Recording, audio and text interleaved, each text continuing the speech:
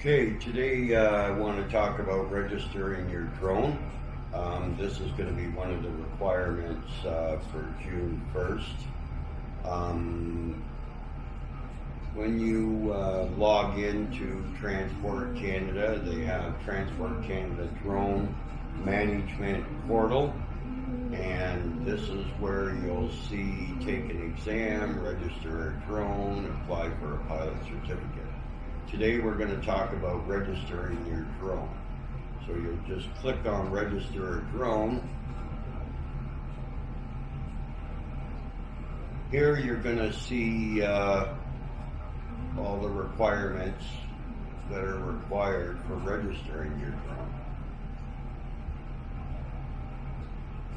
Says it should take about three minutes to register a drone. Um, you're going to need the purchase date um, or you know close to that date. Uh, so it's very important that you keep track of the dates that you purchase your drones uh, in the future and hopefully in the past. Um, you're going to need uh, the make and model and serial number, uh, weight and type of drone. Uh, some of the drones they already have listed in there. I had already registered one, um, but it uh, it didn't ask me for the weight because I guess it already had the drone in there. Um, so they would have had the weight recorded. Uh, so basically, um, you know, I had reg- registered the Mavic 2 Pro. Uh, it asked for the make, which is Mavic 2 Pro. It asks for the serial number. You uh, you type in your serial number. Uh, it didn't ask for the weight, uh, as it already had it in there. Um, and then basically you fill out your uh, your payment.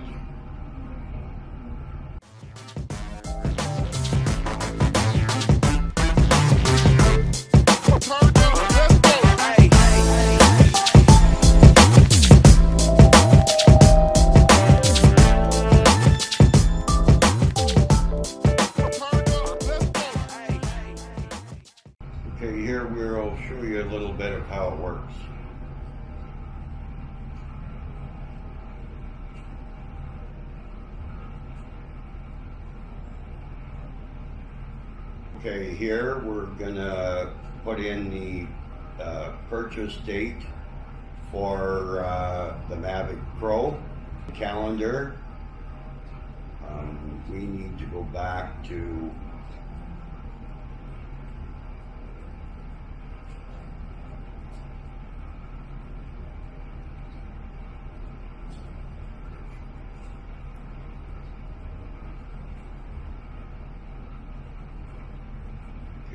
November 2016.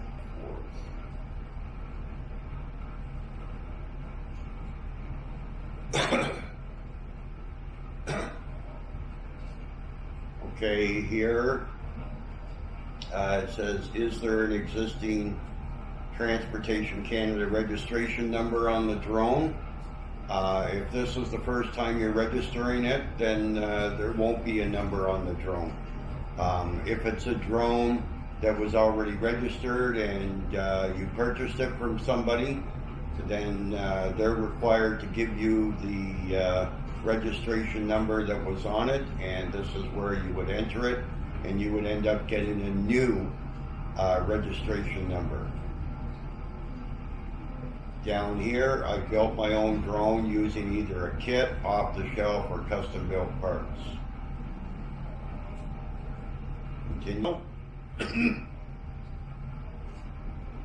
What is the make and model? Okay, uh, we're going to put in the Mavic Pro.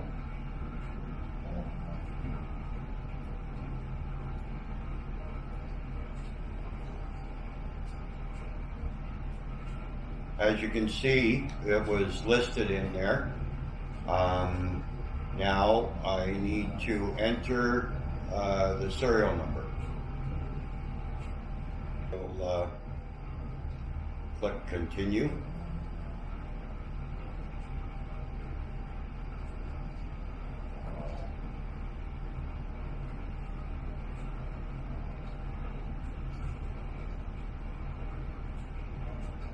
We will click I certify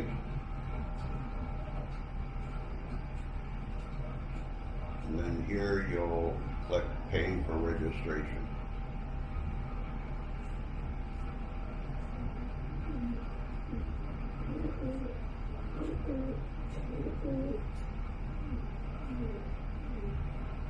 I'm not a robot.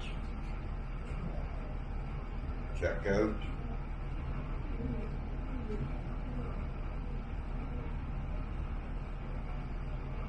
Choose your method of payment.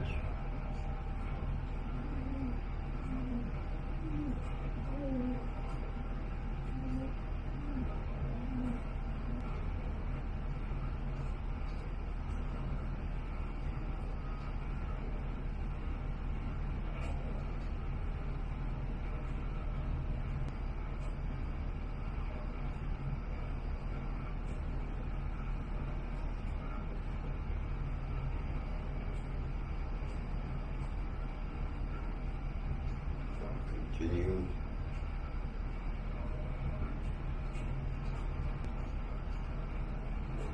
save.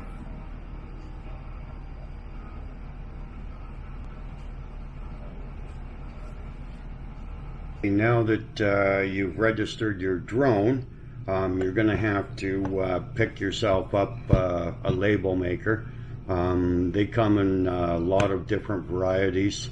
Um, uh, you know, portable uh, label makers. I happen to get the P-Touch Cube from uh, Best Buy. I'm not sure what I paid for it, but I know they have some there, uh, little portable ones for like $20 Canadian. Um, but anyways, what you're going to need to do with your label maker is uh, you're going to need print out a label with the uh, registration number that uh, was just issued to you. And uh, my suggestion would be is to uh, stick that label on the top of your drone where it's uh, going to be visible the most. Um, anyways, let's let's print out a label here.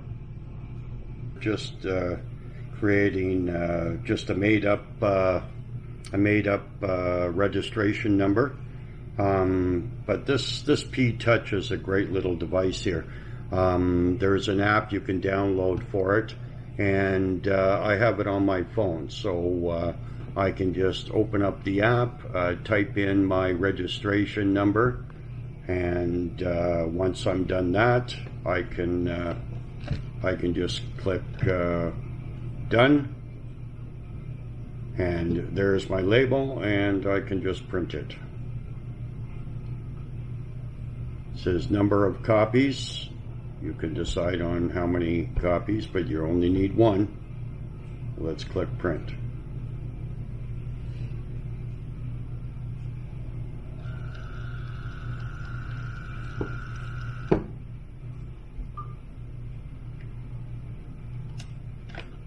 And there we have it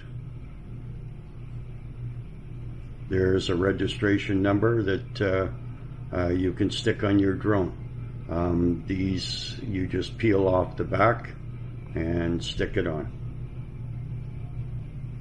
Anyways, I uh, I hope this video helped with uh, registering your drone.